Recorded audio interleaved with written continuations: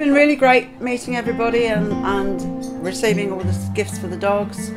Absolutely brilliant. We've been doing this 26 years and we feel as though we've struggled on on our own for a long time, but suddenly people have realised that we're here and it's absolutely brilliant this year.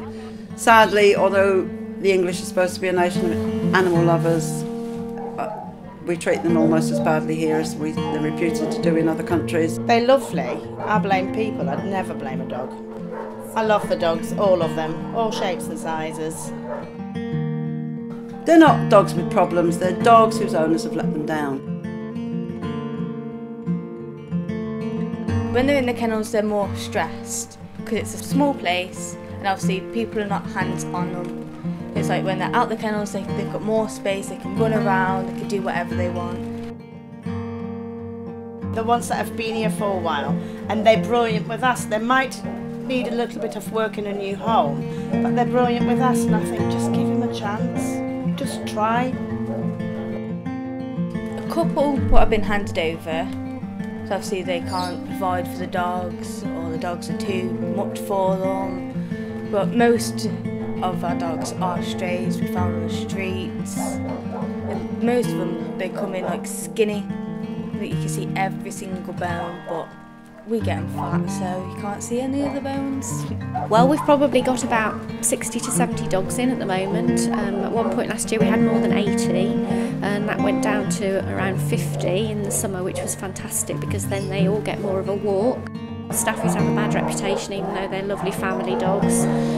There are lots and lots of fantastic dogs here at the moment waiting for their new homes. Um, as you can hear, some of them in the background.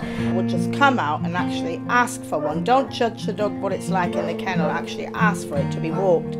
Because when they're out, all they want to do is lick you to death. Far too many dogs are being bred, far too many healthy dogs are being put to sleep year on year because there are not enough homes. We don't put any dogs to sleep, we'll keep them here indefinitely. But life in kennels is really inadequate in terms of what the dog needs, what would make it happy.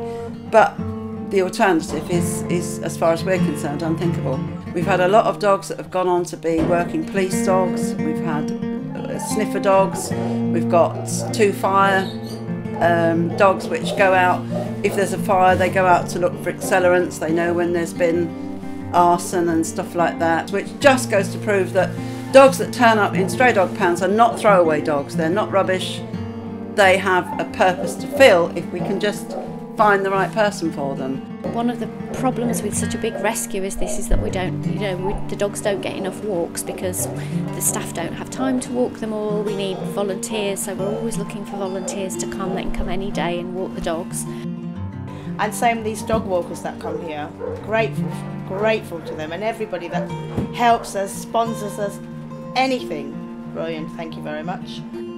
We just like people to give the dogs a chance, you know, adopt instead of shopping. There'll be plenty of places where they can get new puppies at this time of year. The other advantage, of course, to having a rescue dog as opposed to a puppy is they don't usually they don't need house training they've learnt lots of things already they walk nicely on the lead most of these dogs I've had dogs from here myself and they come home with you and they just settle in as if they've always been there.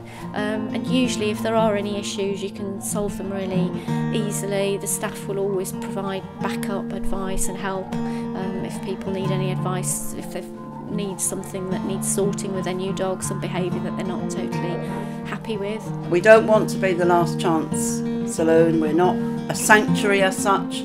We want them going off to homes. Our Christmas wish is always a long line of empty kennels.